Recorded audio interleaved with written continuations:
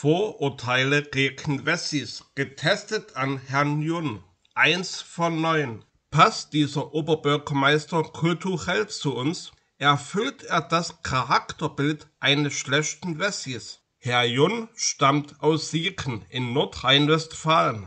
Er kam mutmaßlich nach der Wende nach Leipzig, weil er im Westen keine Professorenstelle bekommen hätte um seinen vermeintlichen Einfluss auf das MDR auszuüben, damit seine Tochter und sein Enkel SchauspielerInnen werden können, übernahm er das Amt des Oberbürgermeisters von Leipzig. Seine Enkelin scheint derzeit in Niederbayern zu leben. Die Familie Jun scheint eher westdeutsch als durch Leipzig geprägt